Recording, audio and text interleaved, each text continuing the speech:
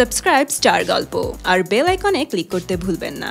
Rocking star Yash এবং Baahubali star Prabhas south Indian এই দুই সুপারস্টার কিন্তু শুধু যে নিজেদের জায়গায় সেটা এমনটা কিন্তু নয়, পুরো ইন্ডিয়া জুড়ে এই দুইজনের ক্রেজ এখন তুঙ্গে।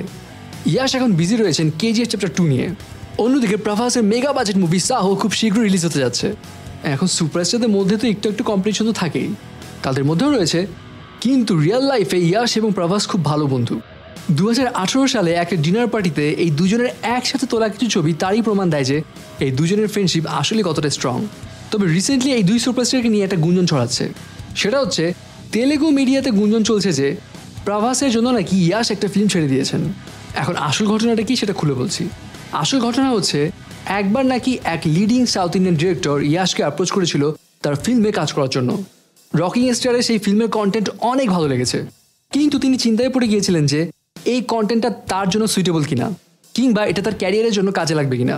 ইয়াসের গল্প শুনে মনে হয়েছে কন্টেন্টটা বেশ ধামাকাদার, কিন্তু এটা তার থেকে বেশি প্রভাসকে শ্যুট করবে। এবং তিনি ফিল্ম মেকারকে বলেন, প্রভাসকে অ্যাপ্রোচ করতে। হ্যাঁ যদিও এখন সেই ফিল্ম মেকারের নাম জানা যায়নি, তবে ধারণা করা হচ্ছে যে সে ডিরেক্টর এখন প্ল্যান করছে তেলুগু স্টার প্রভাসের কাছে অ্যাপ্রোচ করার। সো এখন দেখা যাক আসলে এই গুঞ্জনটা সত্য কিনা। আর যদি এমনটা হয়ে থাকে, তাহলে তো এই কথা বলার আর বাকি নেই যে এই দুজন একজন একজনের কাজকে ভীষণ রেসপেক্ট করে। সো ভিভার্স আপনার কাছে কি মনে হয়? আসলে কি ইয়াশ প্রভাসকে রিকমেন্ড করেছিল? নাকি এটা শুধুই একটা গুঞ্জন? কমেন্টস করে জানিয়ে দিন আপনার মতামত।